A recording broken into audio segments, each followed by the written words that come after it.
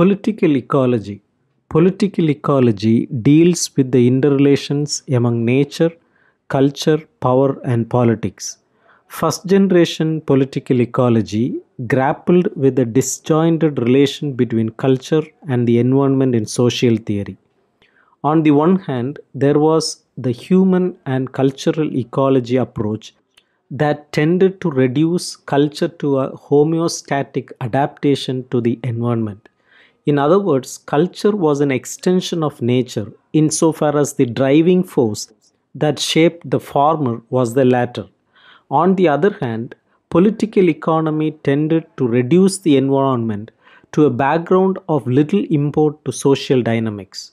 This was especially the case of dependency and world system theory, which understood the expansion of capitalism as a process that overturns local specificities.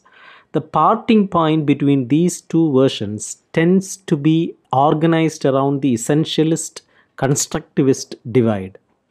First generation political ecology tackled these problems in two ways by resituating the questions of adaptation into the larger scale in which world systems and dependency theory operated, and by stressing that, albeit subordinated to the capitalist economy, local adaptations reworked themselves creatively to meet their own ends. Although first generation political ecology sought to develop a more complex and balanced understanding of the relation between culture and the environment, it retained a strong commitment to ontological dualism and epistemological realism. In other words, the environment remained a domain distinct from culture, and it was assumed that reality was accessible from the standpoint of the sciences.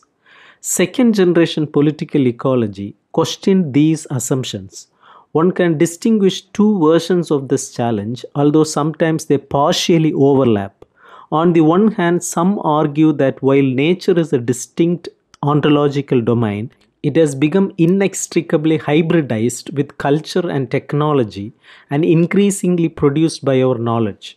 On the other hand, there is stronger epistemological claim that the environment is always already cultural since we can only know it through meaning making practices that are inherently cultural. The parting point between these versions tends to be organized around the essentialist constructivist divide.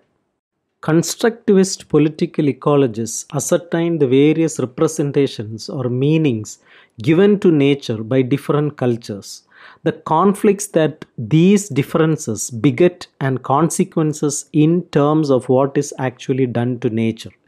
However, constructivism tends to bypass the question of the ontologically specific nature of biophysical reality, implicitly treating material entities as mere envelopes of meaning. Third generation political ecology is mainly influenced by phenomenology, actor network theory, Deleuzian philosophy, and ethnography. Third generation political ecology rethinks the relation between nature and culture by challenging the taken for granted ontological nature of the divide. That is, they challenge the assumption that the divide is universally applicable as if it represented the ultimate reality. This is done in two ways through conceiving reality as an emergent effect of relations and interdependencies that permanently overflow the boundaries based on modern binaries nature, culture, subject, object, material, immaterial, and so on. And through a reevaluation of non Western knowledges that emerge from conceiving what exists and make up the world in other ways than in terms of those binaries. Relational ontologies. Relational ontologies signal various issues First, it constitutes a way to talk about emergent form of life and politics that are not based on the nature-culture divide. Second, it is practice-based concept that calls for ethnographic attention to the distinctions and relations that give shape to the entities populating the world of those who do not adhere to modern binaries. Politically, relational ontologies point at the fact that while these worlds have been under attack for centuries, their differences persist, not unchanged, of course, but as something not reducible to the same, that is, to a universal modernity.